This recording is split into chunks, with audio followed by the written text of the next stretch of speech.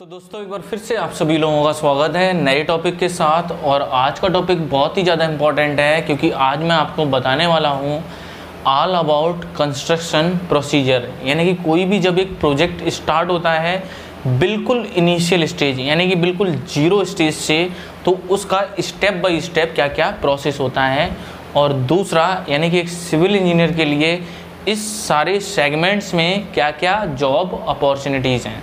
तो इसको मैं आज बहुत ही एक बेसिक कॉन्सेप्ट के हिसाब से समझाऊँगा कि किसी भी एक प्रोजेक्ट में क्या क्या चीज़ें इन्वॉल्व रहती हैं, यानी कि किसी प्रोजेक्ट को बनाने के लिए। तो चलिए दोस्तों, आज का टॉपिक स्टार्ट करते हैं और सबसे पहले हम समझते हैं कॉन्सेप्ट स्टेज को। यानी कि कॉन्सेप्ट स्टेज होती क्या है, इसका एक पूरा ब्रेकअप क्या है।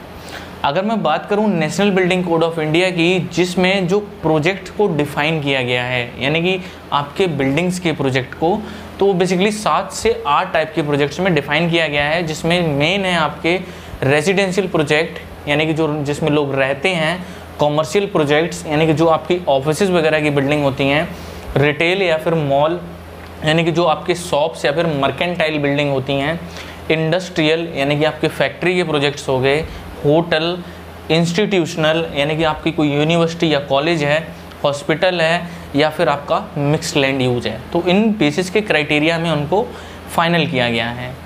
और इन्हीं के बेस पे, यानी कि जब भी आप कोई सिटी का मैप देखते हो तो उसमें आपको क्या दिखता है?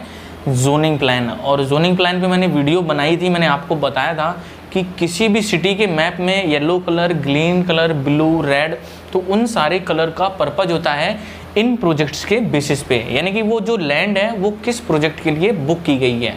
तो कॉन्सेप्ट स्टेज में आपको दो चीज़ें सबसे पहले देखनी पड़ती हैं कि किसी सिटी में आप कौन सी जोनिंग प्लान में लैंड ली है और उस जोनिंग प्लान के अकॉर्डिंग आपका कौन सा प्रोजेक्ट आएगा।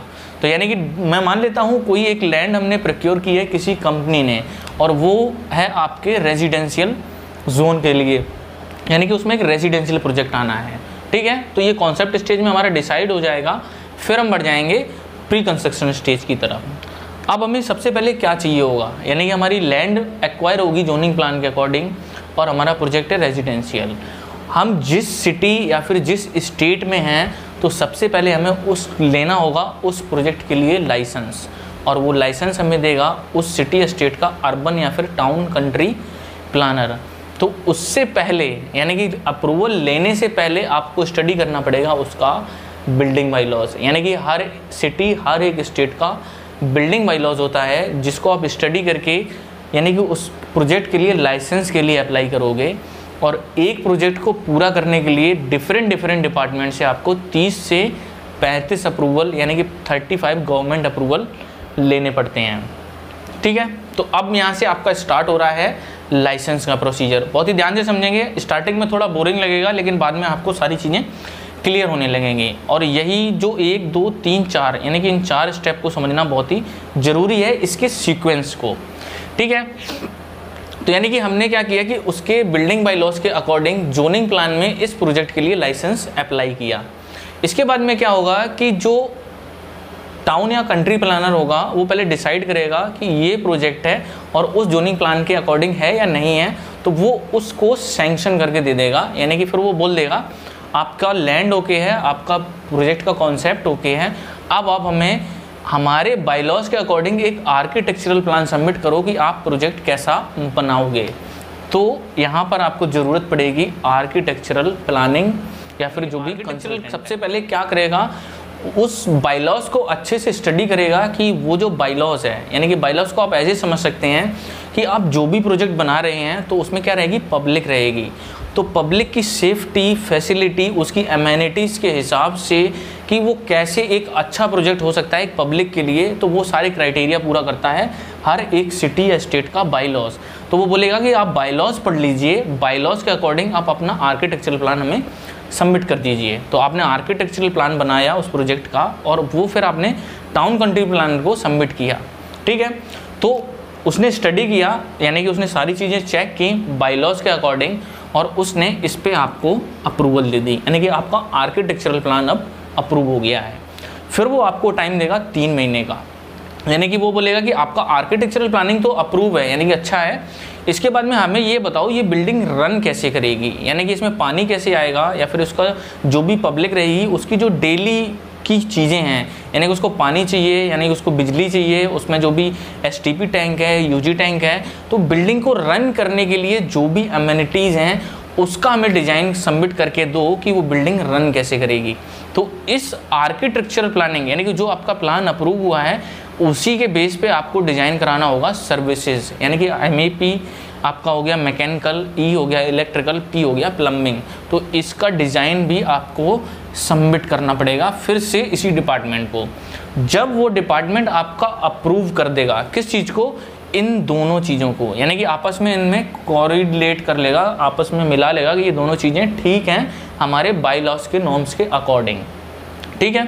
तो फिर ये ड्राइंगें आपकी चली जाएँगी, दोनों ड्राइंगें स्ट्रक्चरल कंसल्टेंट के पास में। यानी कि तब आपका ऑन बोर्ड होता है स्ट्रक्चर कंसल्टेंट क्योंकि स्ट्रक्चर कंसल्टेंट आप की जो ड्राइंग है, उसी के बेसिस पे कहाँ कॉलम आना है, उसकी कितनी, यानी कि जो आपका जियो टेक्निकल सर्वे है, यानी कि फिर वो सर्वे करेगा आपकी लैंड का कि आपकी मिट्टी की बेरिंग कैपेसिटी कितनी है, उसमें फाउंडेशन कौन सी आएगी, उसमें कॉलम्स आएँगे सीयर वॉल्स आएँगे, वो सारा एक स्ट्रक्चरल प्रॉपर डिज़ाइन करके देगा आपके इसके बेसिस पे। तो ये आपका हो जाता है स्ट्रक्चरल डिज़ाइनिंग ऑन बोर्ड और इसमें सबसे मोस्ट इंपॉर्टेंट चीज़ ज़रूर ध्यान रखें कि जो बाइलॉज है और जो भी आर्किटेक्चरल प्लानिंग है, ये आपका एफएआर के कॉन्सेप्ट पे होती है। और एफएआर बहुत ही इंपॉर्टेंट है किसी भी प्रोजेक्ट के लिए, क्योंकि ये वेरी करता है अलग अलग टाइप के प्रोजेक्ट के लिए अलग अलग परसेंटेज में। ठीक है? अब अब आपका जो आप लोग चीज़ें देखते हो, पढ़ते हो, समझते हो, यानी कि अब आपका यहाँ पर क्या हो रहा है कि आपकी सारी ड्राइंगें आ गई अब आपको क्या करना है, उनकी क्वांटिटी निकालनी है, उस प्रोजेक्ट की कॉस्ट निकालनी है। तो आपका ऑनबोर्ड हो जाता है क्यूएस इंजीनियर और ये आपके दो होते हैं। सिविल का अलग रहता है, यानी कि सिविल और फिनिशिंग का, और एम e का अलग रहता है, जो मैकेनिकल इलेक्ट्रिकल प्लम्बिंग का है।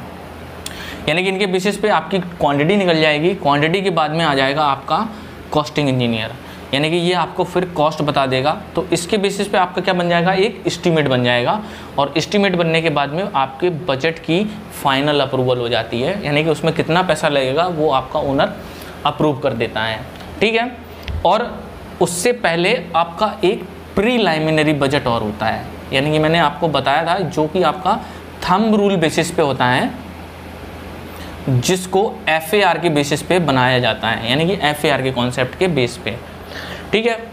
तो अब आपका जैसे ही फाइनल बजट अप्रूव हुआ तो फिर आपको करनी होती है एक मास्टर प्लानिंग कि वो प्रोजेक्ट कितने टाइम में बनेगा, उसमें कौन कौन सी स्टेजेस आएँगी, हमें कौन सी चीज़ों पे फोकस करना है। तो यानी कि जब आपका मास्टर प्लान आपका बन के रेडी हो जाएगा, यानी कि इसको स्ट्रेटजिक प्लानिंग भी बोलते हैं कि कैश, जो फंड फ्लो है, पैसा कहाँ से आएगा, हमें किस किस स्टेज में कितना पैसा चाहिए तो वो सारा एक ओवरऑल प्लान करके दे देगा, जिसको हम लोग बोलते हैं मास्टर प्लानिंग और यही मास्टर प्लानिंग जब आपकी फाइनल हो जाती है तो परचेज डिपार्टमेंट को बता दिया जाता है कि आपको कैसे कैसे किस स्टेज में के लिए कौन सी मटेरियल प्रिक्योर करना है। प्रोजेक्ट कंट्रोलर को बता दिया जाता है कि कौन कौन सी क्रिटिकल स्टेज हैं जो कि आपको कंट्रोल करनी है और कॉस्ट कंट्रोलर है। यानी कि कॉस्ट कंट्रोलर आएगा आपका कॉन्ट्रैक्ट्स और टेंडरिंग के बाद में। यानी कि मास्टर जो आपका शेड्यूल बना है, ये पूरा शेड्यूल सीधा दे दिया जाता है कॉन्ट्रैक्ट डिपार्टमेंट को। यानी कि कॉन्ट्रैक्ट डिपार्टमेंट को हम लोग बोल देते हैं कि ये हमारा मास्टर शेड्यूल है और अब हमें जाना है कंस्ट्रक्शन स्टेज में, यानी कि हमें काम कराना है। तो हमारे लिए कोई भी जो भी हमें काम कराना है, उसके हिसाब से वेंडर है कॉन्ट्रैक्टर है, वो आप ढूंढ के लाओ और हमें ये काम स्टार्ट कराना है। तो जब कॉन्ट्रैक्ट या फिर टेंडरिंग इंजीनियर किसी भी कॉन्ट्रैक्टर को जब ऑन बोर्ड कर देता है साइट पे, यानी कि उसने काम अवार्ड कर दिया और आपका काम साइट पे स्टार्ट हो गया तो जैसे ही काम अवार्ड होगा तो आपका कॉस्ट कंट्रोलर की एक्टिविटी भी स्टार्ट हो जाती है कि हमारा बजट कितना था और हमारा अवार्ड कितने में हुआ। और इसके बाद में धीमे धीमे जैसे आपकी बिलिंग वगैरह होगी तो वो सारी चीज़ों को ट्रैक करता रहेगा कॉस्टिंग को। तो यानी कि एक बहुत ही अच्छी पोस्ट होती है कॉस्ट कंट्रोलर की भी। अब मैं बात करने जा रहा हूँ कंस्ट्रक्शन स्टेज की। बहुत ध्यान से समझें। जैसे ही आपकी कंस्ट्रक्शन स्टेज स्टार्ट होती है तो सबसे पहले आपको चाहिए होता है सर्वेयर यानी कि वो क्या करेगा? जो भी आपका प्लॉट है या जो भी फाउंडेशन है, उसका लेआउट वगैरह मार्किंग जो भी उसको करना है, वो सारा काम करता है सर्वेयर इसके बाद में आप सभी लोग जानते हैं, जो हमारा साइट इंजीनियर है, जो साइट पे काम कराता है, इसके बाद में जो भी साइट पे काम हो रहा है तो उसके लिए हमें चाहिए होता है क्वालिटी इंजीनियर यानी कि जो टेस्टिंग वगैरह के काम देखता है साइट पे ओवरऑल चाहे वो मटेरियल हो, चाहे वो किसी भी टाइप की टेस्टिंग क्यों ना हो।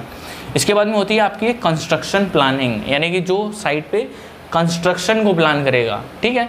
और यहाँ आपकी एक मास्टर या फिर स्ट्रेटेजिक प्लानिंग थी, ये दोनों में बहुत डिफरेंट होता है। इसके बाद में आ जाता है आपका बिलिंग इंजीनियर यानी कि जो भी आपकी साइट पे काम कर रहा है तो उसकी आपको बिलिंग भी करनी होगी।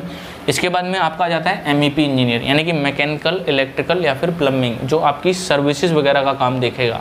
इसके बाद में आपका आ जाएगा इंटीरियर इंजीनियर इसके बाद में और जो डिपार्टमेंट्स होते हैं, जैसे स्टोर इंजीनियर है या फिर आपका सेफ्टी इंजीनियर है, इसके बाद में फोरमैन है सुपरवाइज़र है टाइम कीपर है और एक एडमिन ठीक है? तो ये मतलब कोर जॉब हैं, यानी कि जो जनरली हर एक साइट पे आपको देखने को मिलेंगी।